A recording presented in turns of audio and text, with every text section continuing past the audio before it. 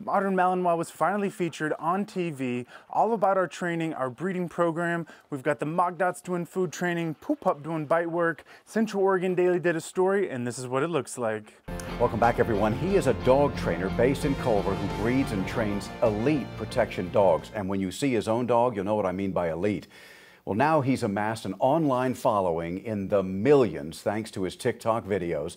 This morning, Eric Lindstrom introduces us to Matt Folsom. Take a look.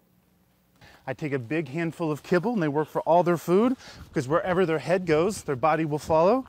The circle's turning into a heel, a down, a sit, a switch, fold him back into a down, a sit, a down, a stand, all done by manipulating his head.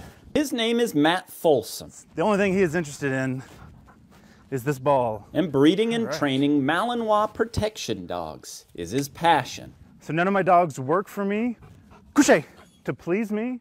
They don't work for me because I'm dominant over them. They work for me because I have something that they want. Switch.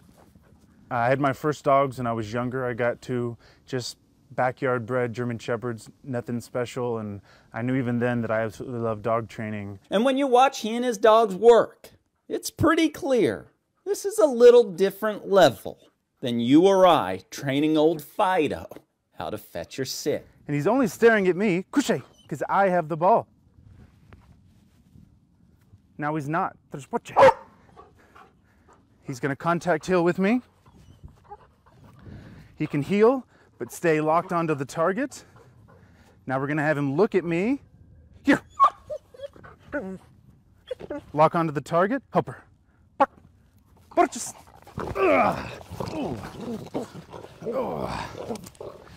power, but also us, the control. Matt's passion is clear. Anybody can make a mean dog. It's not hard. You beat them.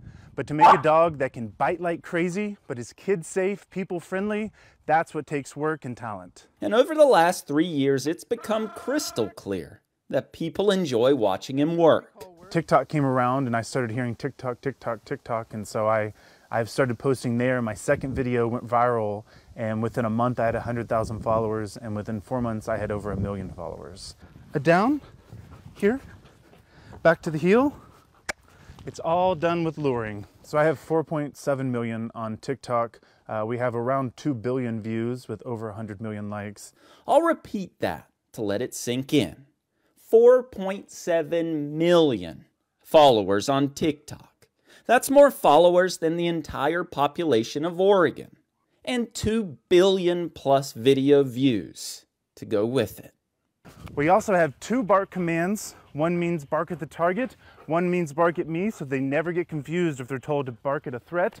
So his social media has exploded, and it's become part of his job.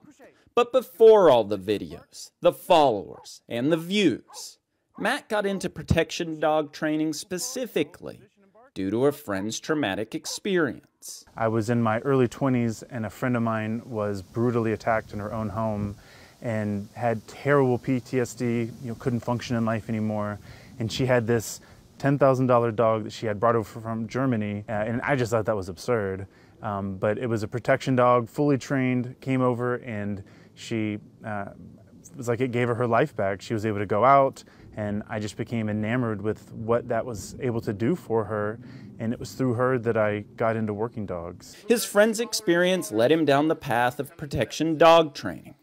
And now he uses a new school form of training that focuses on positive reinforcement versus the old school dominance technique. A lot of working dogs and protection dogs are trained with uh, inhumane methods, a lot of punishment, a lot of coercion and aversion, and I really want to try to bring into the mainstream using mostly positive reinforcement to train these dogs. I have so much of a better relationship with my dog. They're not, you know, you don't have a dog that's worried, um, and I don't have a dog that, you know, only listens to me because or else.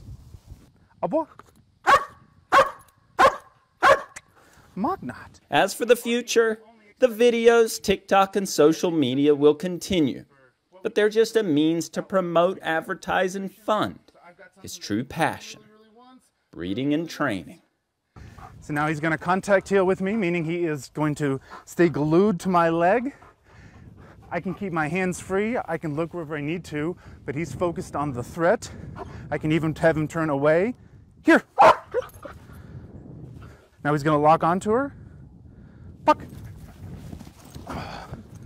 And you see how he's pushing into her. He's not tugging on that bite because he's trying to get as much of her in his mouth as possible.